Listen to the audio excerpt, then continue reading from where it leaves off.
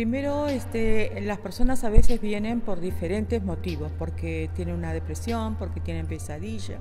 o algunos no sienten como que están afectados, pero sienten que la familia no los entiende, que los hijos tampoco. Y entonces cuando empezamos a hacer la entrevista, este, también hacemos con los familiares, inclusive eh, en Perú se le hace también un tratamiento a los niños. Este, ¿Por qué? Porque vemos que la persona a veces silencia muchas de las cosas que le han sucedido para no traumatizar traumatizar a sus familiares y resulta ser que los familiares sienten que ese silencio oculta muchas cosas y que tienen que ver con esa irritabilidad, con ese aislamiento que puede tener la persona. O sea, la tortura afecta no solamente a la persona, sino también a su entorno. Bueno, nosotros le damos una atención psicológica, una atención terapéutica integral, es un trabajo psicosocial, eh, atendemos a la persona este, directamente afectada, como también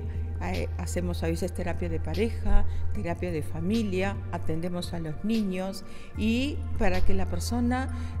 porque lo que pueden llegar a decir es que yo no quiero hablar de eso porque no me quiero acordar, pero resulta ser que para poder olvidar a veces hay que recordar para poder elaborar lo que les ha pasado.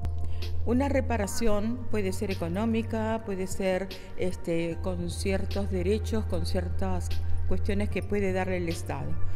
Pero nosotros pensamos que una reparación sin justicia es un poco renga, ¿no? Porque siempre queda, ¿no es cierto?, de que aquel que me ha hecho tanto daño, que es una persona, es un perpetuador, me lo puedo encontrar en la calle o puede tener cierta este, venganza hacia mi denuncia muy buen trabajo, pero lo más sorprendente es que justamente las personas que han sufrido tortura, que se hayan podido organizar